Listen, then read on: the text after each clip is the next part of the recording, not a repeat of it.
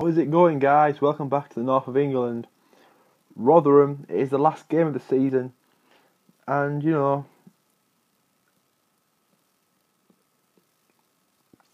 yeah, ten points clear. We've got one game to go, guys.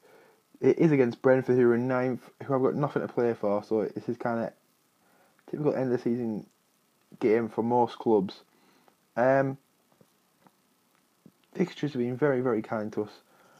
I mean, we've been we here. I thought we were struggling. We are going to struggle a bit. We got Wycombe, Sheffield, and Portsmouth. We all drew against them. It wasn't very good performances either, but we picked it back up. Lost Scunthorpe away, which was quite a shame. But you know, good, good results. Um, on the job front, I did receive an offer for a job that I rejected from Derby, who did finish. Who no, I haven't finished yet because they got one game in hand, obviously, but they are second. They could finish first, so you know who are they against? Millwall, Sunderland have got Coventry, so they're both against bottom team clubs. All about performance at the end of the day. But yeah, so yeah, top of the league. I'm very very happy with that. I've received some offers for the players when I was in January. Obviously for the players like Kieran Agard, who's not happy at the moment. He's fucking annoyed annoyed with me, but you know, it's not a problem. I mean, he's played 50 games a season for us. I think it's a bit excessive. I mean, he's still starting for us as well.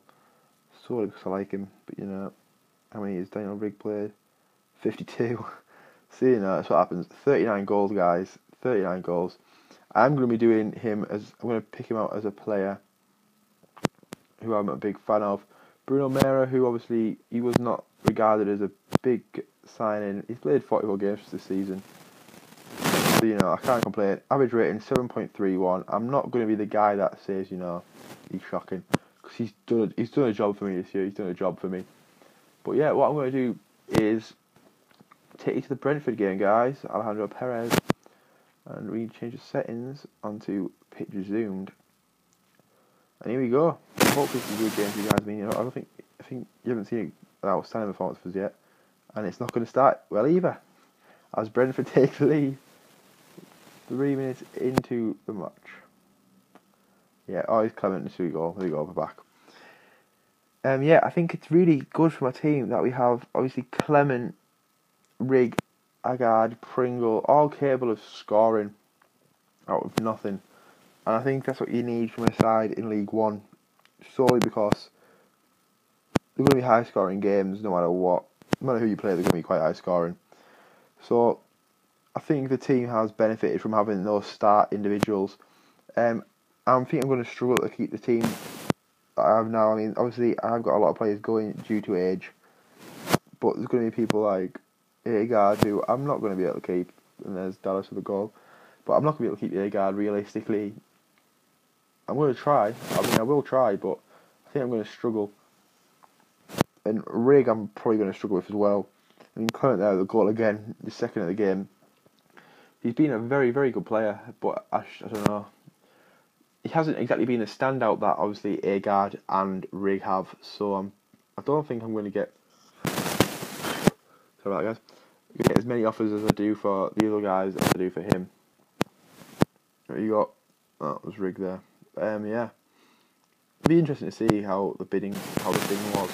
I'm guessing there will be some. And he's Agard now. Our title's Pringle. Put the ball in. Put the ball in. Where's he going? There we go. Mean, eh, it's hat trick.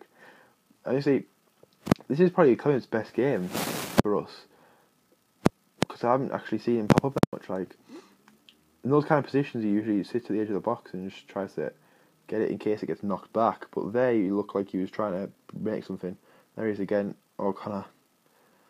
Um, I'm disappointed, guys. I mean, I thought Rigg and Agard would have a brilliant game today, but obviously not see that you know at least you've seen goals. And there's Rigg.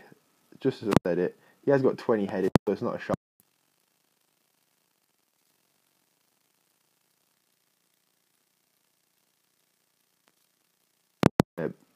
Impact too much.